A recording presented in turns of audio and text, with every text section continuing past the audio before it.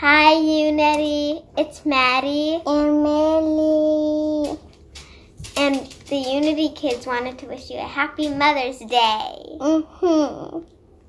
And Mother's Day isn't just for moms, right? Mm-hmm. It can be like for aunts. Yeah. Anybody who takes care of someone, like a baby or something, right? Yeah. And maybe like a stepmom or something? Yeah. Or maybe a grandma. Yeah. Or, or a grandparent.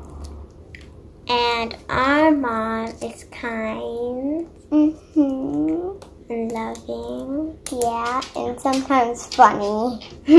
Yeah, and caring. Yeah.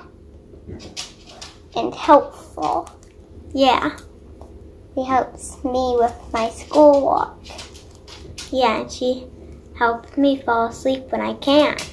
Mm-hmm. Bye, Unity. Happy Mother's Day. Bye.